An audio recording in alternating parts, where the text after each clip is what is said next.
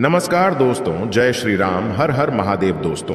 आज की वीडियो बहुत ज़्यादा ज्ञानवर्धक और धन प्राप्ति का मूल मंत्र है। आज की इस वीडियो में हम बात करेंगे, आखिर औरत का वह कौन सा अंग बेशर्म होकर दबाने या चूसने से अचानक अपार धन की प्राप्ति होती है? लोग औरत का कौन सा अंग दबा और चूस कर अमीर बन जाते हैं? जो भी मनुष्य औरत का यह अंग दबाता या चूसता है, उसके घर में सदा माँ लक्ष्मी का वास रहता है और माँ लक्ष्मी की कृपा सदैव बनी रहती है। तो दोस्तों, आज की इस वीडियो में हम बताएँगे औरत का वह कौन सा अंग जिसे हर पुरुष को दबाना या चूसना चाहिए। दोस्तों, आपको पता चल ही गया होगा कि आज की वीडियो में हम क्या सीखने जा रहे हैं।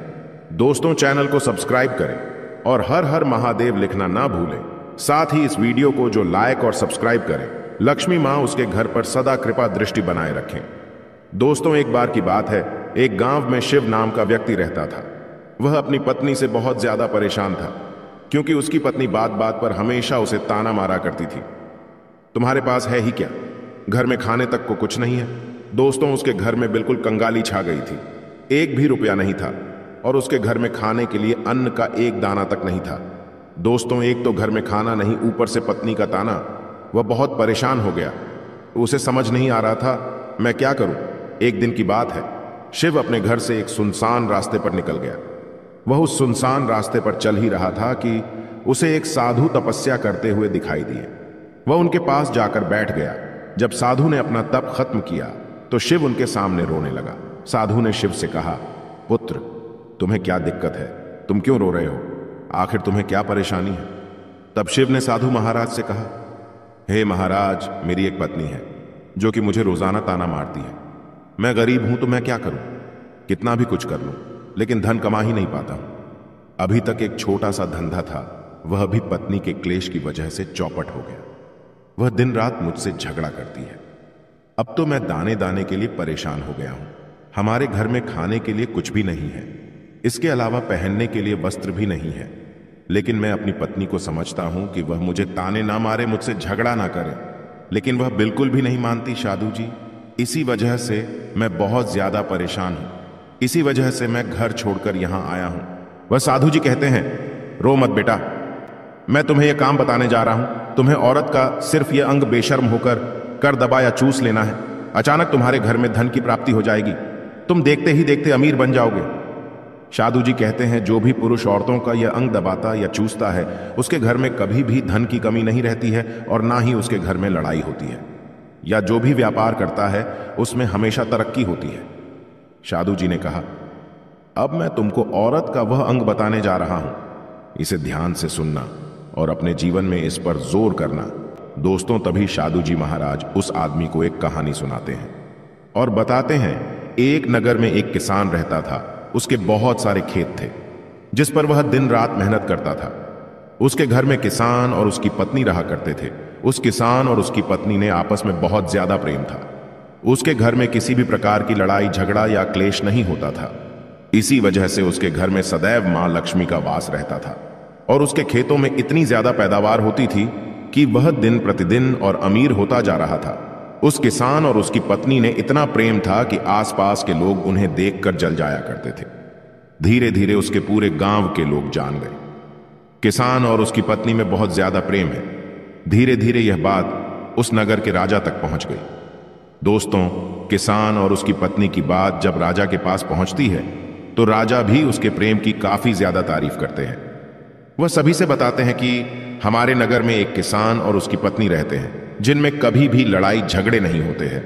उन दोनों में आपस में इतना प्रेम है कि मैंने ऐसा अपनी ज़िंदगी में कभी भी नहीं देखा। एक बार की बात है, राजा पूरे नगर में डिंडोरा पिटवाते हैं कि इस नगर में जितने भी लोग हैं, वह सभी अपने घर में घी का दिया जलाएँगे। राजा की पत्नी पूछती है कि आप ऐसा क्यों कर रहे हैं? सबके घर में घी का दिया क्यों जलवा रहे हैं? राजा अपनी पत्नी की बात सुनकर कहते हैं, दीपक प्रेम की निशानी होता है। जिसके घर में घी का दीपक जलता है, उसके घर में सदैव प्रेम बना रहता है। और मैं चाहता हूँ कि जो प्रेम किसान और उसकी पत्नी के घर में है, वह हमारे पूरे नगर में रहे पति और पत्नी के बीच, इसीलिए मैं हर घर में दीपक जलवाना चाहता हूँ। दोस्तों, राजा के सैनिक जाते हैं। और हर जगह नगर में ढोंढी पीटते हैं कि सभी के घर में रात भर घी का दीपक जलाना चाहिए। दोस्तों, राजा की बात मानकर सभी नगरवासी अपने घर में दीपक जला देते हैं। लेकिन जैसे ही आधी रात होती है, सभी के घर के दीपक बुझ जाते हैं। लेकिन किसान के घर का दीपक वैसे ही जलता रहता है। राजा अपने महल में चढ़कर पूरे नगर का नज़ारा देख रहे थे। उन्होंने देखा कि सारे नगर में किसी के घर में दीपक नहीं चल रहा है, लेकिन किसान के घर में दीपक जल रहा है। तब राजा अपनी रानी से बोलता है कि देखो, किसान और उसकी पत्नी के घर में दीपक जगमगा रहा है, लेकिन पूरे नगर में कहीं भी दीपक नहीं जल रहा है। इसी से पता लगता है कि किसान और उसकी पत्नी में कितना प्रेम है। तब राजा की पत्नी राजा से बोलती है कि जो किसान और उसकी पत्नी में प्रेम है, वह किसान की पत्नी की वजह से है, और इसी वजह से उसके घर में इतना ज़्यादा प्रेम है। दोस्तों, जब राजा रानी की बात सुनता है तो कहता है, नहीं, तुम्हारा सोचना गलत है। जो प्रेम किसान के घर में है, वह उसकी पत्नी की वजह से नहीं है, बल्कि वह किसान की वजह से है। रानी, यहाँ पर किसान बहुत ज़्यादा समझदार है, आपका सोचना गलत है, और यही वजह है जो कि उनके घर में कभी भी लड़ाई झगड़ा नहीं होता है। दोस्तों, राजा कहता है, किसान समझदार है और रानी कहती है, किसान की पत्नी समझदार है। दोस्तों, इसी तरह कुछ देर चलता रहा राजा कह रहे थे, किसान समझदार है। रानी कह रही थी, किसान की पत्नी समझदार है। इसी बात को लेकर राजा और रानी के बीच काफ़ी झगड़ा हो गया। इसके बाद राजा कहता है, हम लोगों को झगड़ा करने की ज़रूरत नहीं है। क्यों ना हम किसान और उसकी पत्नी की परीक्षा ले लें। सारा दूध का दूध और पानी का पानी हो जाएगा। लड़ाई करने के बाद इस बात पर राजा और रानी दोनों सहमत हो गए और दोनों की परीक्षा लेने के लिए तैयार हो जाते हैं। तब राजा अपने महल में जाता है और और एक सैनिक को बुलाता है। सैनिक से बोलता है कि तुम किसान के पास जाओ और जो जो प्रश्न मैं तुमसे बोल रहा हूँ, वह तुम किसान को बोल देना। सैनिक बोलता है, ठीक है महाराज। सैनिक राजा की बात सुनकर किसान के पास जाता है। उस समय किसान की पत्नी खेतों में गई थी, लेकिन किसान की कुछ तबीयत ठीक नहीं थी। इस वजह से वह खेतों पर नहीं गया था। सैनिक किसान के घर पहुँच जाता है। और किसान से कहता है, मैं राज दरबार से आया हूँ, राजा साहब ने मुझे भेजा है। दोस्तों, किसान कहता है, बताइए, मैं आपकी क्या सेवा कर सकता हूँ? आप बैठ जाइए, मैं आपके लिए पानी लेकर आता हूँ। तब वह सैनिक बोलता है कि, नहीं, तुम कुछ भी मत लाओ। मैं राजा का सैनिक हूँ, बस आपके पास राजा का समाचार लेकर आया हूँ। तब किसान कहता है, ठीक है, सैनिक, आप मुझे बताओ, राजा साहब ने मेरे लिए क्या समाचार भेजा है? सैनिक कहता है किसान राजा साहब ने यह बोला है कि यदि तुम अपनी पत्नी को छोड़ देते हो तो राजा जी, आपको बहुत सारे हीरे जवाहरात और साथ में तुम्हारे ज़मीन से दो गुना ज़्यादा ज़मीन राजा जी, आपको तोहफे में देंगे। इसके अलावा राजमहल का आधा हिस्सा भी आपको दिया जाएगा। लेकिन जो किसान ने जवाब दिया, वह सुनने लायक है। किसान ने कहा, राजा जी, अपना पूरा राजमहल मुझे क्यों ना दे दे? लेकिन मैं अपनी पत्नी को नहीं छोड़ूँगा। जाओ और अपने राजा से कह दो। किसान ने ऐसा कहा है। सैनिक जाता है और राजा को सारी बातें बताता है। इस समय रानी वहाँ पर सैनिक की बात सुन रही थी। सुनने के बाद रानी ने कहा, आपने किसान की तो परीक्षा ले ली, लेकिन किसान की पत्नी की परीक्षा नहीं ली है। इस तरह से हम कैसे पता कर सकते हैं कि कौन समझदार है? इसके बाद रानी ने कहा, अब मैं भी किसान की पत्नी की परीक्षा लेना चाहती हूँ। जब दोनों की परीक्षा हो जाएगी, तभी पता चलेगा कि कौन समझदार है। फिर रानी ने भी एक सैनिक बुलाया और कहा कि, मेरी बात किसान की पत्नी को बोलना और याद रखना यह बात तभी बताना जब किसान वहाँ पर ना हो। सैनिक ने पूछा कि, रानी, क्या बात बतानी है? वह तो बताओ तो रानी ने सैनिक को सारी बात बता दी। सैनिक किसान के घर जाता है और उसके घर में आवाज़ लगाता है तो उसके घर से किसान की पत्नी निकलकर आती है और कहती है, क्या हुआ? क्यों ढिंढोरा पीट रहे हो? तो सैनिक ने कहा कि, राजमहल से आया हूँ, मुझे रानी ने भेजा है। किसान की पत्नी ने कहा, बताओ किस लिए आए हो? तब सैनिक ने कहा, रानी ने बोला है, यदि तुम अपने पति किसान को मार देती हो तो आपको बहुत सारे हीरे जवाहरात रानी आपको देंगी और साथ में राजमहल का आधा हिस्सा भी आपको मिलेगा।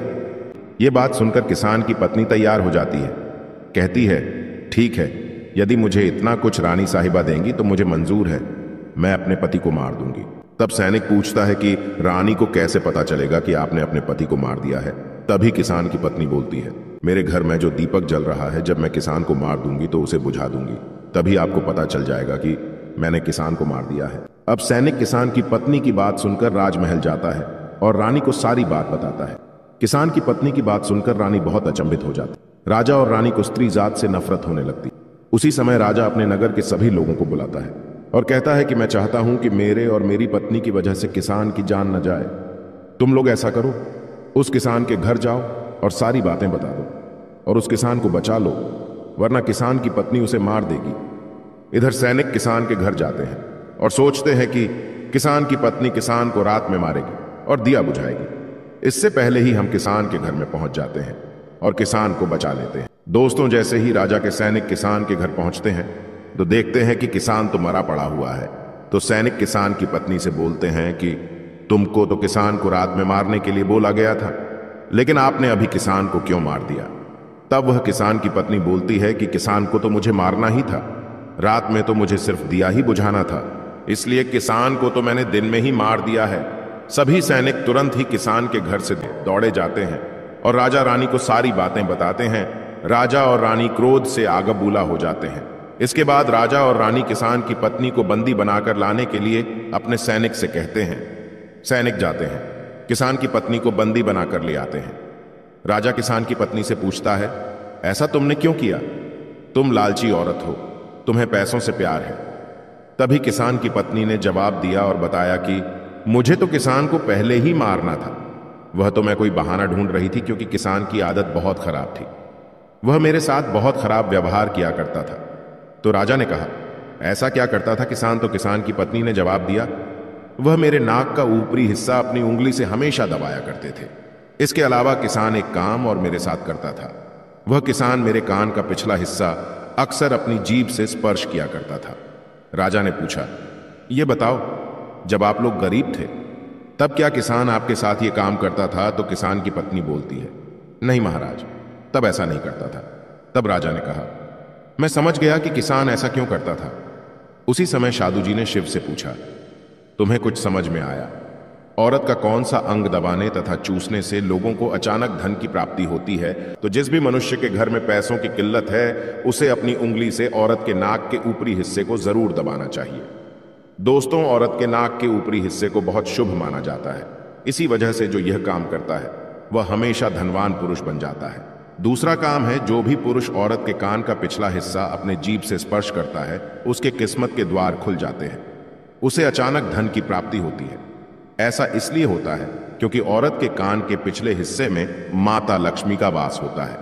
जब आप ऐसा करते हैं तो माता लक्ष्मी आपसे प्रसन्न हो जाती और आपको अपार धन देती है। और आपने एक बात तो ज़रूर सुनी होगी, औरतें माता लक्ष्मी का रूप मानी जाती हैं।